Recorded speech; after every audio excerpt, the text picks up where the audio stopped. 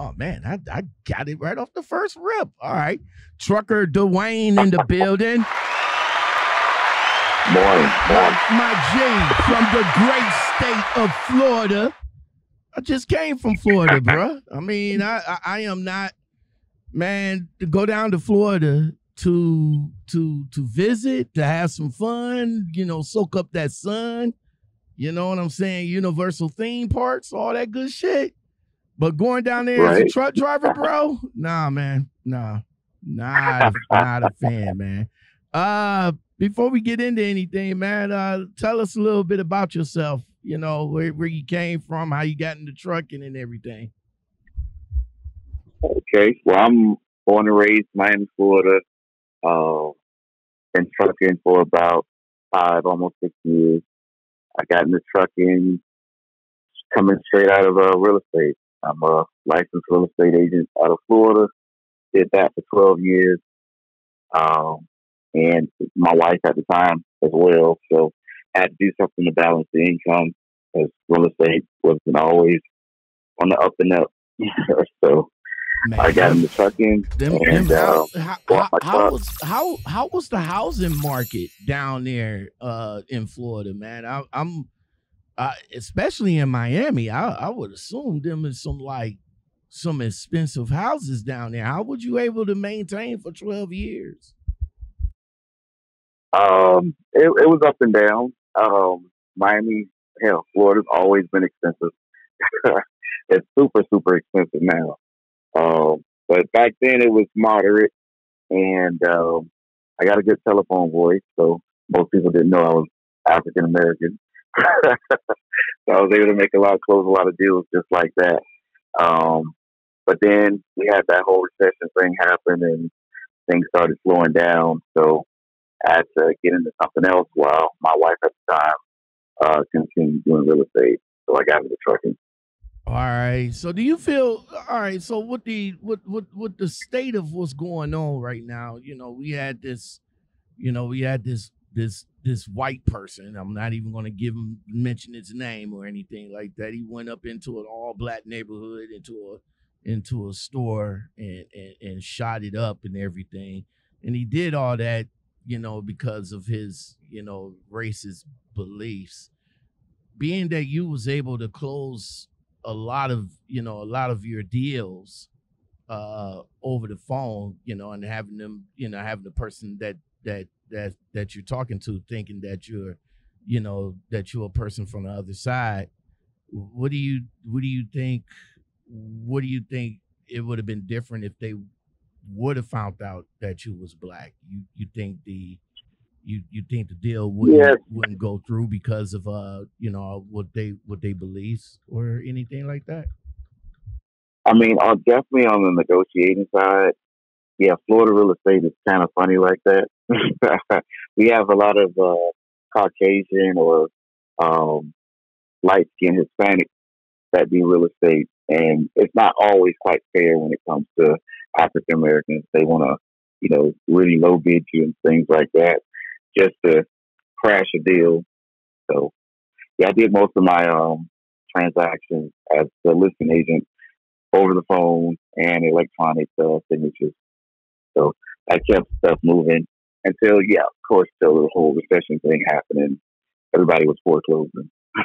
So you know, uh, trucking and and and real estate go hand in hand. I mean, you know, a lot of guys Right. that get into trucking, you know, the the next uh, hustle for them would would be to get into uh, real estate, and vice versa. Um, you know, you was in real estate for twelve years. What what was the what was the um, I don't know what what was the inclination to come into trucking for? Uh, just something, uh, a little stability. Um, I never really worked for anybody. I stopped working for people when I was 19. I'm 38 now. So I never was really interested in a nine to five. So I needed a career or industry that I can move at my own pace and make as much money as I would like to make. So right. trucking seemed like the best fit for that. Now trucking down in Florida is kind of scarce. I don't easy, truck in easy, Florida. e- easy to get, easy to get in, hard to get out, you know, for you yeah. know for some freight. But you being right, and and some you know mega carriers don't even hire out of Florida. So exactly. did you did you go to school for your CDL or did you jump on to a yes, I, to a carrier yeah, went, and I get your CDL? Yeah, I went I went to school um, at the time. Um, the what is the reemployment unemployment office was paying for licenses and certifications if you wanted to change careers. So I took that route. They paid for my uh, CDL outright. I think I was out of pocket like two hundred bucks. Oh, um, however, when I started trucking, I left Florida and I moved to Ohio, to Cleveland. Whoa, whoa, whoa, whoa, whoa, whoa, whoa. Hold on. Hold on. Hold on. You came up to the great state of Ohio, bro? Into my home city? What's good? What's good? You still yeah, you wait, you still you you still up here or you you you moved back to Florida? I just recently um, a month ago just moved back to North Florida, Jacksonville. a month ago. But yeah, I've been been up in uh, Cleveland for about five years. Well, Shaker Heights. Oh, okay. Yeah, I'm, I'm, in. I'm I'm in Cleveland. I'm well. I'm well familiar of uh, Shaker Heights, Warrensville, and all the surrounding areas, man. So yeah, God damn it, man. So you said bump being in the cold, bro. You said let me go back home to Florida. uh man. So um, so yo, so majority of your trucking career was was you were staying in Ohio, which is an easy state to to to get on with a mega carrier or a smaller carrier for that matter. Uh when right. you got up to when you got up to Ohio, what what was the company you started with, and are you still with that same company now? Uh, I I started with Werner Enterprise. Um, so I, I did a year with them, and then I bought my truck. Um, and then I contracted with them for like the next three years um, as a trainer and owner operator. Okay, okay, okay. So the first year in, you you you went in there, studied, uh, learned the business and everything, and you just said to yourself at that time, "I want to go ahead and get a truck." Did you did you lease? Oh, yeah. Did you lease the truck from Werner or did you buy the truck outright after you saved up for it?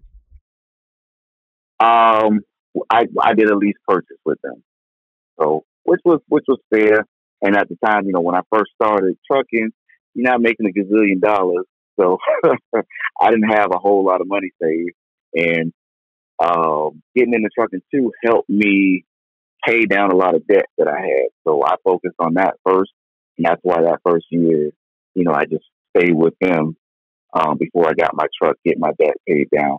But yeah, I got into uh, one of the um, lease to own trucks, which I end up paying off uh, fairly quickly for like 500 bucks. They gave me the truck. And and that was it. so made what, my payments every month. I can make extra payments every month to get it paid down quickly. So why did you get in? And you know the correlation with with with lease ops with with uh with a few mega carriers, they go lease op, but they also turn around and they they they jump right into right into training. Is is that because? Is is that because y'all wasn't making as much as you thought you was making when you went lease op with them, or was it because you wanted to do it you know, just to show oh, the next the generation. Yeah, on the training side. Okay, I started. I saw started training as a company driver. So, um, oh, oh, and the oh, numbers oh, okay, for okay, me okay, okay. Com- yeah, yeah. I started training as a company driver, and the the numbers made sense moving into owner op because I don't pay the other driver, but I still get the miles. So it made sense um, so I was averaging pretty well as a company driver, and I did the numbers. I, I saw how much everything cost. Like that was my whole year was looking at cost, how much everything costs, maintenance costs, um, and what I'm making uh, per mile because you know they were paying cent per mile at the time. Um, so the numbers made sense to move into owner op because my pay uh, per mile increased dramatically. Um, even though I had a lot of defenders saying, "Oh, they're not paying you enough for me to get a truck on the outside." five hundred dollars worked a lot better than coming up with ten percent at the time. so, and I was averaging about 4,500, 5,000 miles a week on my truck. So okay. that, that worked out. That's what's up. All right, so you uh, it, you, you know, me and you talked in the background before we get into that. Uh, when I reached out to you the first time about that uh about that ticket in uh in uh Walmart, but you told me that that wasn't yours. That was one of your uh trainees. One of my students. Yeah. But uh, right. but what happened to you with with TikTok, bro? I'm listen. I'm I'm going to just throw it out there like everybody else. I'm I am not a fan of that app at all. I just uh, you know, it's you know, for me, it, it brings me content and it does bring me, you know, I, me like I said, I'm not a fan of it personally, but on another right. on another level, I have met some real good people off of this app. You know what I'm saying? Right. I, you know, the people that right. I came came across and had some good, interesting conversations with them. I, I really I, I can say that. But as the app as a whole, I am I, I'm I am definitely definitely not a fan of this app, bro. So what happened, man? Why why why TikTok put you in jail, man? I'm in jail quite a bit on TikTok. Um, I have like good five, almost six years of either stuff I've recorded or my students recorded, and they sent to me because I'm in communication with all of them still, and most of them they own their own trucks now. But um, yeah, I have tons of it, and some of it, I mean, I don't think it's an issue. I mean, it's just regular stuff you see. But yeah, they be hitting me with the community guidelines. Oh, no shop value stuff. Uh, nothing where you know, a person could have potentially been injured and stuff like that. So, yeah, I, I I've probably got about oh, twenty videos that have gotten taken down. Oh shit! Let me tell you why, bro. Because it's a lot of it's a lot of weird shock value people getting hurt on this app every fucking day.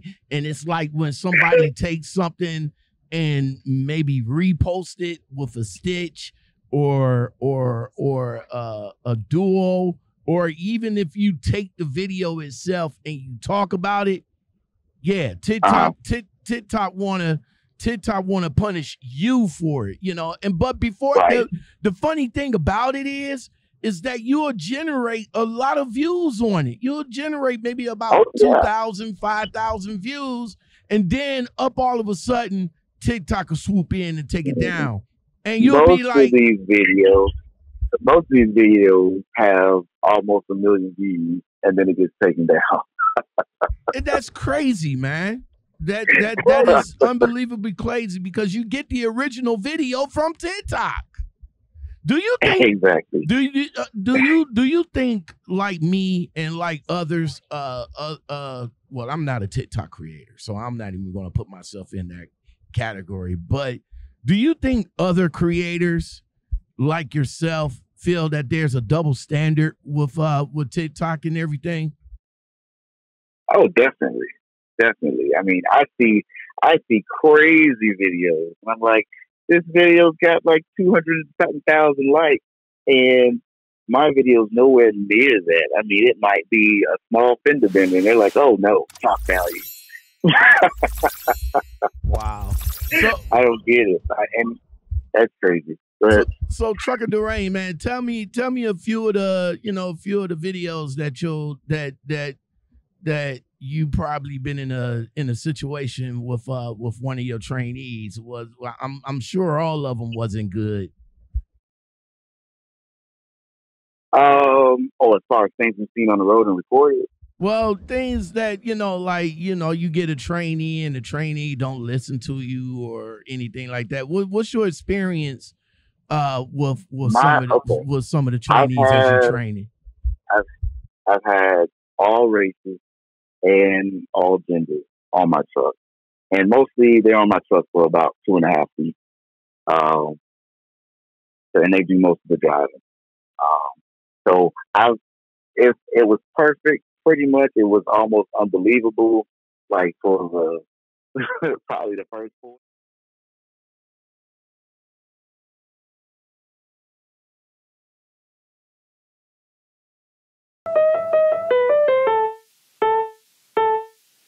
I'm like Beethoven with the bass on it. Mid classic kids will went pop. Deaf to the hater won't stop. Let's talk key scales won't drop. You don't even need a scale to know I'm on top. Me and Mozart bars, you got pops. Heard you writing Tiffany, a whole symphony. You a me, but go off. Or make a masterpiece for you, or at least it's gonna hit like rump pum pum. Elephant to me like the symphony. Your career's done done done.